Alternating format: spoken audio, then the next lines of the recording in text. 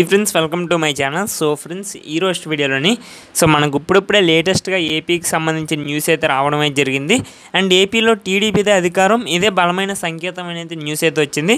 అసలు ఏంటి అప్డేట్ అనేది ప్రజెంట్ ఇప్పుడు వచ్చిన లేటెస్ట్ అప్డేట్ న్యూస్ని మనం ఈ వీడియోలో కొంచెం క్లారిటీ తెలుసుకునే ప్రయత్నం అయితే చేద్దాం.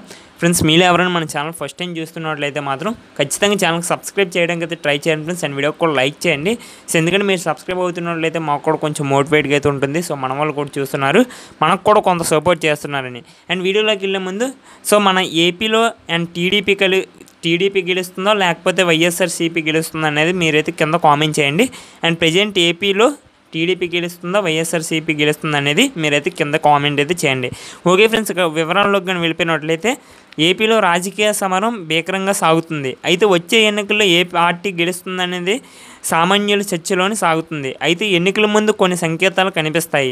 రాజకీయంగా ఏ పార్టీ బలంగా ఉంటే ఆ పార్టీలో చేరేందుకు నేతలు ఉత్సాహం చూపిస్తుంటారు. రాజకీయంగా ఎన్నికల సమయంలో జంపింగ్లు సాధారణమే. అయితే గాలి ఉన్న పార్టీలకే చేరుకులు ఉంటుంటాయి. సో ఈ విధంగా వచ్చింది. అండ్ ఈ తాప కోణంలో చూస్తే టీడీపీకి గాలి ఉన్నట్లు కనిపిస్తుంది. ఇప్పటికే అనేక మంది వైసీపీ నేతలు టీడీపీలోకి చేరుతున్నారు. సాధారణంగా అధికార పార్టీలో చేరుకులు ఎక్కువగా ఉంటుంటాయి. అయితే విపక్షంగా బలంగా ఉంది.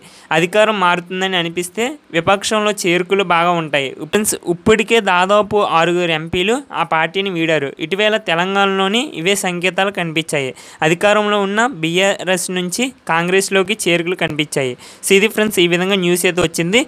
సో మనకైతే టీడీపీకి ఎక్కువ రేటింగ్ ఉందని అయితే ప్రజెంట్ న్యూస్ కోసం మన ఛానల్ సబ్స్క్రైబ్ చేసి లైక్ చేసి సపోర్ట్ చేయండి friends thanks for watching friends bye bye have a next day